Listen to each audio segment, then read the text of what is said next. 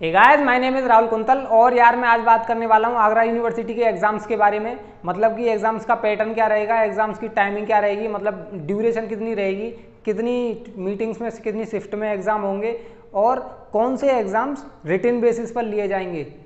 इनमें कुछ एग्ज़ाम्स ऐसे भी हैं जो रिटर्न बेसिस पर होंगे, वो सब कौन से एग्ज़ाम्स होंगे और कितने क्वेश्चंस स्टूडेंट्स को अटेम्प्ट करने हैं। इस सब के बारे में आज हम बात करेंगे। So guys welcome to the ground and ground lovers welcomes you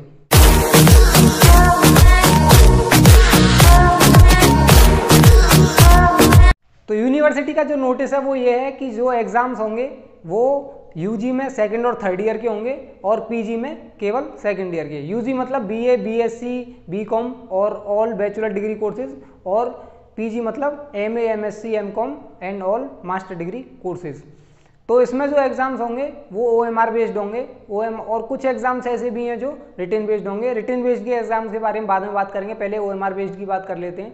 तो इसमें जो आपकी टाइमिंग रहेगी, वो रहेगी आपकी एक घंटा तीस मिनट। मतलब कि आपको एग्ज़ाम करने के लिए डेढ़ घंटा मिलेगा। और डेढ़ घंटे में आपको पचास क्वेश्चन करने हैं। लास्ट वीडियो में मैंने बताया था कि आपको साठ क्वेश्चन करने हैं, क्योंकि यूनिवर्सिटी का जो पहले लेटर आया था, उसमें कहा गया था कि यू स्टूडेंट्स को 60 क्वेश्चंस करने हैं। लेकिन जो लेटेस्ट न्यूज़ आई है, वो ये आई है कि स्टूडेंट्स को केवल 50 क्वेश्चंस अटेम्प्ट करने हैं। फ़िलहाल आपको ज़्यादा टेंशन लेने की ज़रूरत नहीं है, केवल आपको पचास क्वेश्चन ही अटेम्प्ट करने हैं। इसमें सबसे ज़्यादा इंपॉर्टेंट जो न्यूज़ है वो ये है कि मान के चलिए आप बीए कर रहे हैं और बीए में आपके पास तीन सब्जेक्ट हैं हिस्ट्री ज्योग्राफी और हिंदी। तो पहले जो एग्ज़ाम होते थे वो इस तरह होते थे कि दो हिस्ट्री के, दो ज्योग्राफी के और दो हिंदी के। और मान के चलिए अगर आप बीएससी कर रहे हैं तो बीएससी में आपके पास सब्जेक्ट हैं पीसीएम तो पहले ऐसे एग्ज़ाम होते थे कि फिजिक्स के तीन मैथ के तीन और केमिस्ट्री के तीन। लेकिन इस बार जो यूनिवर्सिटी का नोटिस आया वो ये है कि हर सब्जेक्ट का केवल एक ही एग्ज़ाम होगा। जैसे कि मान लीजिए बीए कर रहे हैं आप तो हिस्ट्री का एक पेपर होगा ज्योग्राफी का एक पेपर होगा और हिंदी का एक पेपर होगा। ऐसे ही बीएससी में आपका फिजिक्स का एक पेपर होगा मैथ्स का एक पेपर होगा और बीएससी का एक पेपर होगा। तो सारे सब्जेक्ट्स का केवल एक एक ही एग्ज़ाम होगा।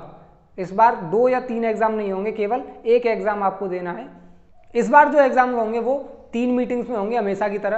पहला जो एग्ज़ाम होगा वो आठ बजे से लेकर साढ़े नौ बजे तक रहेगा। दूसरा एग्ज़ाम जो होगा वो साढ़े साढ़े ग्यारह बजे से लेकर और एक बजे तक रहेगा और जो तीसरा एग्ज़ाम होगा वो चार बजे से लेकर साढ़े पाँच बजे तक रहेगा। तो पहले की तरह तीन शिफ्ट में ही एग्ज़ाम होंगे। अब बात करते हैं कौन से एग्ज़ाम्स रिटर्न बेसिस पर होंगे। तो इसमें जो कुछ सब्जेक्ट हैं, जैसे कि फ़िलोसफी है, उर्दू है, इनको रिटर्न बेसिस पर कराया जाएगा। और बाकी जो स्कीम आएगी यूनिवर्सिटी द्वारा, जब डेट सीट आएगी डेट के साथ तो उसमें बता दिया जाएगा कि कौन से एग्ज़ाम्स रिटर्न बेसिस पर होंगे। तो बस ये थी कुछ जानकारी एग्ज़ाम पैटर्न के बारे में यूनिवर्सिटी के। अगर आपको वीडियो अच्छी लगी हो तो वीडियो को लाइक करना। आप अगर आपके पास कोई सवाल या सुझाव हो तो उसे कमेंट करके ज़रूर बताना।